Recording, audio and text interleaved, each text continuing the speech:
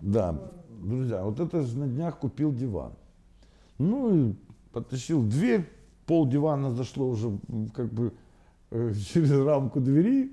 Я его и так думаю, ну вроде бы как бы померил, вроде нормальный диван, легко заходит. Я его и так, и так, и так, и так пытаюсь. Ничего не получается, ну никак.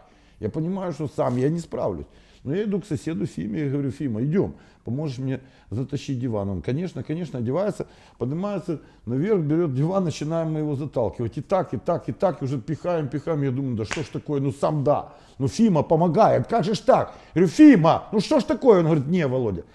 Так мы его никак не вытащим, блин. Поехали!